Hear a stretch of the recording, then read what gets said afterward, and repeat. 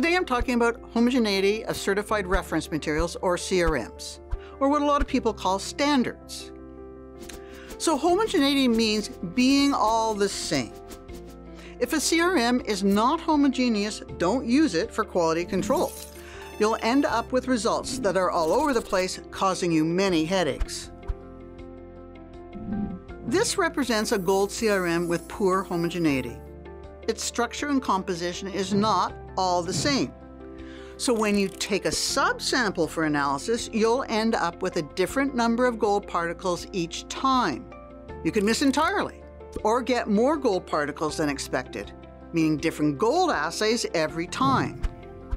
Your results won't measure whether the laboratory is doing a good job. Now let's look at a CRM with good homogeneity.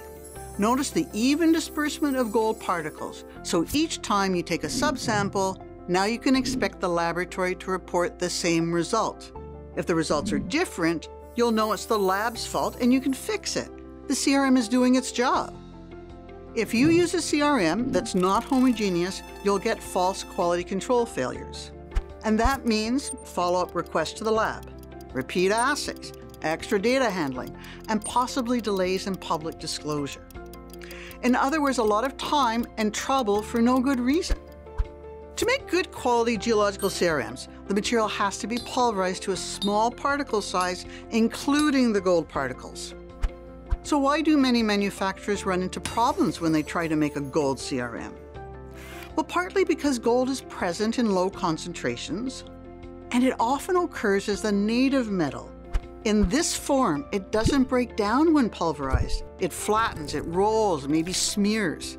It's highly malleable, making it hard to achieve good homogeneity.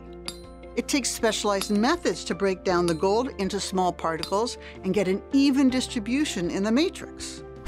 OREAS supplies the world's most homogeneous gold CRMs. They have achieved this from 30 years of developing specialized technology and processes. They're the only manufacturer that does specific tests for homogeneity, and they guarantee homogeneity across their entire range of gold CRMs. In fact, they can demonstrate homogeneity on a reduced subsample of just 85 milligrams for a 12-ton batch CRM. So before selecting a CRM, ask for proof of homogeneity. Did you know homogeneity was this important? Share your comments below.